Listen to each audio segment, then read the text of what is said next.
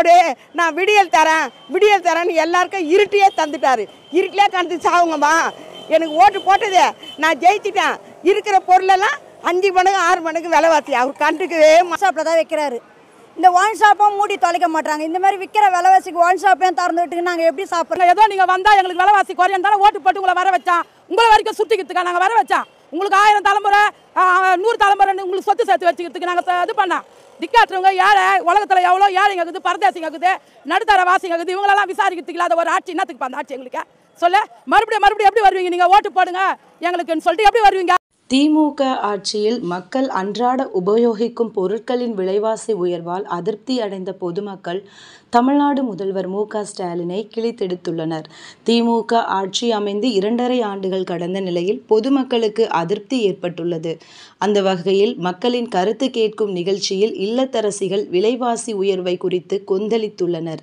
அதில் பெண்கள் திமுகவை விலைவாசி உயர்வை கட்டுப்படுத்தவும் மக்களின் நலனுக்காக ஆட்சியில் அமர வைத்தால் நீங்கள் ஆயிரம் தலைமுறைகளுக்கு சேர்த்து சொத்து சேர்த்து வைக்கவா?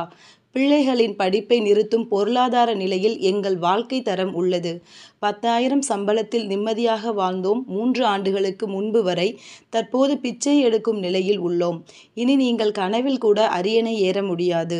இனிமேலும் தமிழ்நாட்டு மக்கள் உங்களை மறக்கவும் மாட்டார்கள் மன்னிக்கவும் மாட்டார்கள் என்று கொந்தளித்து பேசியுள்ளனர். ஊழல் செய்த அமைச்சரை காப்பாற்ற போராடுவது தக்காளியின் விலையை உயர்த்துவது விலைவாசி உயர்வு வேலை வாய்ப்பின்மை முப்பது நாளில் முப்பதாயிரம் கோடி ஊழல் செய்வது ஏக்கர் கணக்கில் விவசாய நிலங்களை கொள்ளையடித்து சாலை திட்டம் பாலம் கட்டப் போகிறோம் என்று தம்பட்டம் அடித்துக்கொள்வது மேலும் சிலை வைக்கப் போகிறோம் நூலகம் அமைக்கப் போகிறோம் என்று பொதுமக்களின் வரி பணத்தை செலவழிப்பதுதான் திராவிட மாடல் ஆட்சி என்று அரசியல் பார்வையாளர்கள் கருத்து கூறி வருகின்றனர்.